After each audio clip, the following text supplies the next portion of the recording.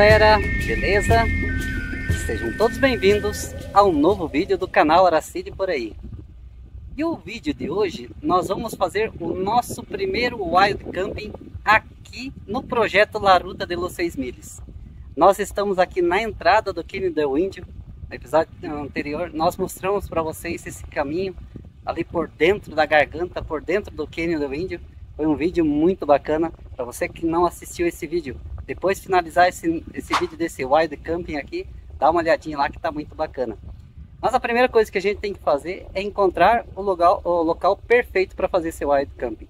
Nós estamos aqui, que nem eu falei, no, no que seria o estacionamento para entrar lá pro, pro Canyon. Então vamos ver se esse aqui é o melhor lugar. Tem um outro ponto do outro lado do rio. Tem outro ponto lá do outro lado da, da Ruta Nacional 60, que é a Ruta de los Seis Miles. Para você que está chegando agora no canal e não se inscreveu ainda, já aproveita, já te inscreve no nosso canal, porque olha, tem muita coisa bacana. Nós estamos na Ruta de los Seis Miles. Olha, foram meses viajando, compartilhando com vocês as imagens de todo esse percurso para agora nós estamos muito, muito, muito pertinho mesmo. Bora lá. Mas é, hoje a imagem é Wild Camping aqui na entrada do Canyon del Índio. Olha, deve ser imperdível porque é muito isolado isso aqui. Vamos ver como é que vai ser a noite aqui. Bora lá curtir conosco? Vamos lá? Ó, pessoal, que nem eu comentei, a gente deixou o carro aqui na entrada aqui do Canyon. Ali é o Canyon, Canyon del Índio, Canyon del Índio.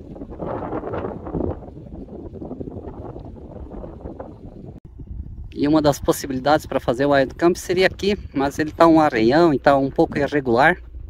Eu acho que tem outros pontos melhores. Ali na frente é que corre a Ruta Nacional 60. Esse ponto ali que vou tentar focalizar ali. Ali está a Ruta Nacional 60. E ali do outro lado do rio, talvez tenha um ponto bem bacana. Vamos lá, vamos ver como é que, como é que ele é.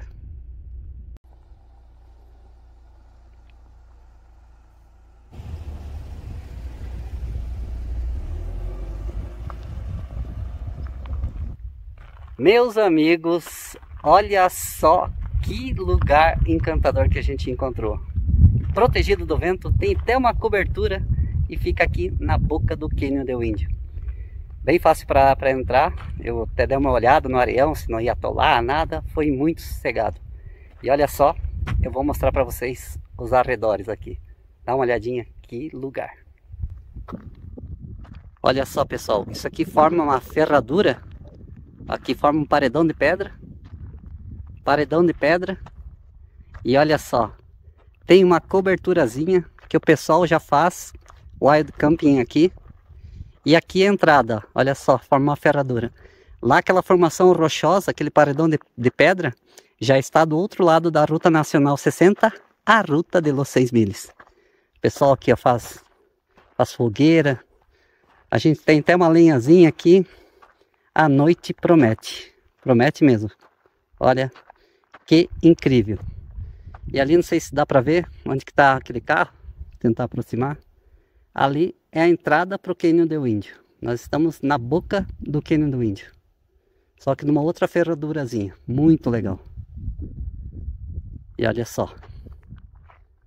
Que show. Vamos botar nossa barraquinha aqui embaixo e vamos curtir. Vou posicionar o carro ali onde que a gente vai deixá-lo. Ó pessoal, lugarzinho devidamente escolhido. Já mais ou menos nivelado. E agora vamos preparar um almoço.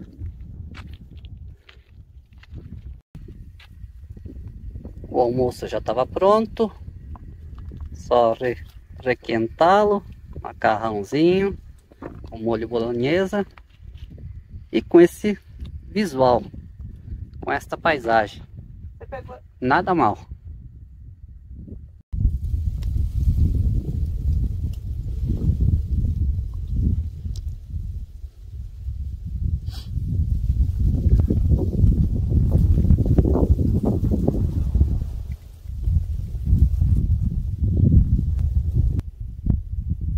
A mansão já está armada.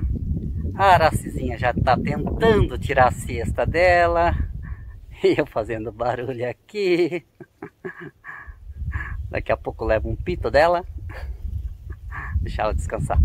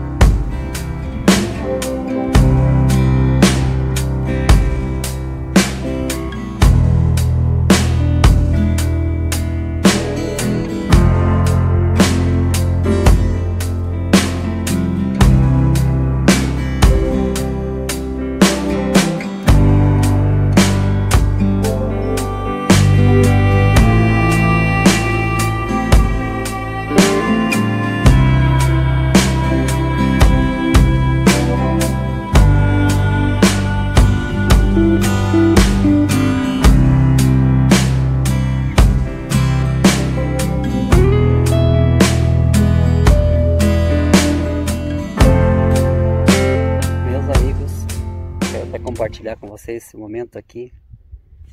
Olha só a paz, o sossego, a tranquilidade aqui no meio do deserto. Tem coisa assim que não tem preço, olha. E esse lugar aqui, a boca da entrada ali do Canyon do Del Índio, aqui na província de Catamarca, na Ruta Nacional 60, é um dos lugares, olha, incríveis do planeta. Só de vez em quando sopra um vento, ó, e mais nada, absolutamente nada. Que paz.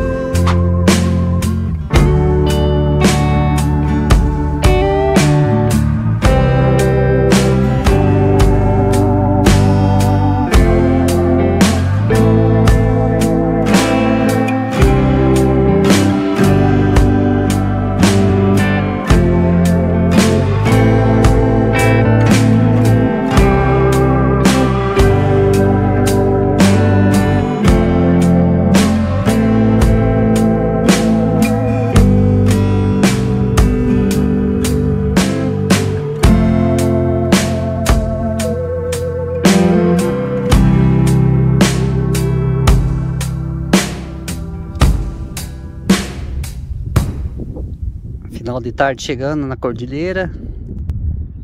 Nosso carro já está lá na sombra. E o sol já quase se pondo.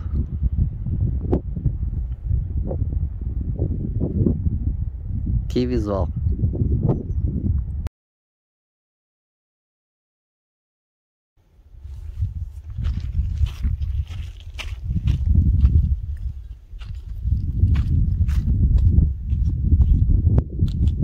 momento.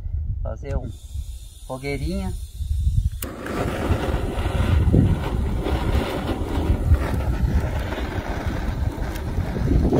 Ah! Quase me queimo na minha própria fogueira.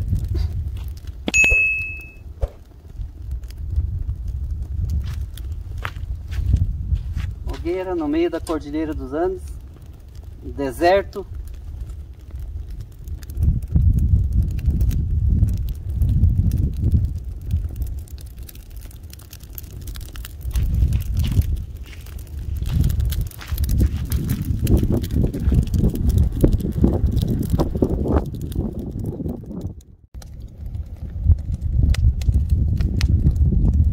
Olha só, Vera e Arlindo, que momento deixamos para degustar essa champanhe que vocês deram para nós num momento especial, num lugar especial.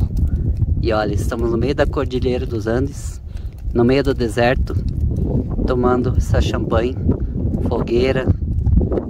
E olha só, só nós aqui no meio do deserto. Que momento!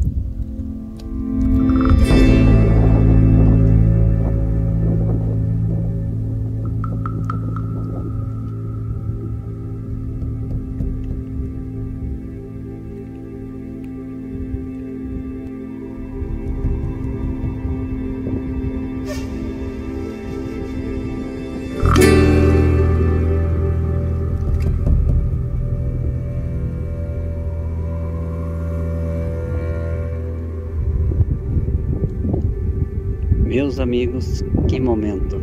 Olha, não esperava ser tão maravilhoso, tão, tão bacana fazer um wild camping no meio da cordilheira, no meio do deserto e só nós, assim, só eu e Araci, só essa paz, essa tranquilidade, olha, que momento. Boa noite, pessoal. Até amanhã.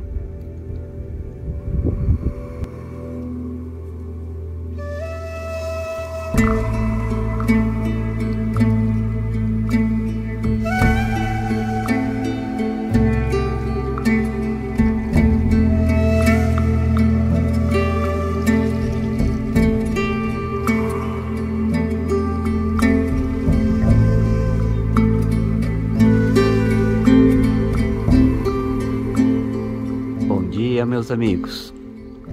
Que experiência única. Dormir aqui no meio da cordilheira, num local bem deserto, isolado, e acordar assim com esse amanhecer.